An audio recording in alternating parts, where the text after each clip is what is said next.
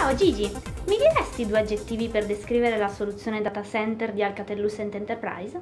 Ciao Marti, volentieri. Io direi innovativa e vantaggiosa. Adesso ti dico anche perché. Innovativa perché è flessibile grazie a un'architettura che supporta le tecnologie di virtualizzazione con bassa latenza end-to-end. È ecosostenibile. Ti faccio anche un esempio. La soluzione Alcatel-Lucent eh, consuma fino al 70% in meno rispetto alla concorrenza e è attenta alle evoluzioni di questo mercato attraverso delle partnership con aziende leader nell'ecosistema data center. E perché è vantaggiosa? Vantaggiosa perché salvaguardia gli investimenti dei nostri clienti, è aperta, è basata su standard di mercato e quindi interoperabile con soluzioni di altri vendor. È agnostica rispetto alle differenti tecnologie di virtualizzazione che sono presenti nei data center.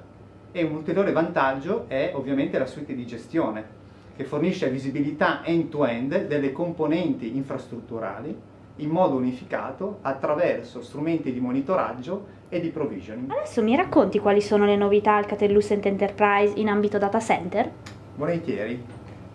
Una delle novità che abbiamo all'interno del nostro portafoglio è la disponibilità delle interfacce 40 gigabit Ethernet che sono disponibili su OmniSwitch 6009 e su OmniSwitch 10K.